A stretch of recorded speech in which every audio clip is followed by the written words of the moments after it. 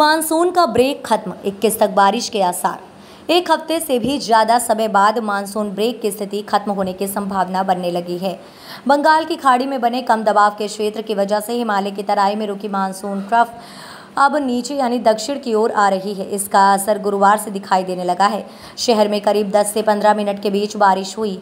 हालाँकि ये बारिश लोकल सिस्टम के कारण बने बादलों के कारण हुई, इसलिए इसका फैलाव समिति ही रहा। लेकिन बंगाल की खाड़ी में बने सिस्टम के कारण जो नमी आएगी, उससे इस बारिश होने की पूरी संभावना बढ़ जाएगी। मौसम विभाग के पूर्वानुमान में बताया गया है कि 17 से 21 अगस्त तक बारिश होने की संभावना है। हालाँकि इस दौरान 19 के अलावा अन्य जिलों में तेज बारिश की उम्मीद नहीं है। फ़सलों को लेकर भी सलाह कृषि विज्ञान केंद्र ने सोयाबीन एवं अन्य दलहनी फ़सलों में निदाई, गुड़ाई के माध्यम से खरपतवारों को नष्ट करने की सलाह दी है।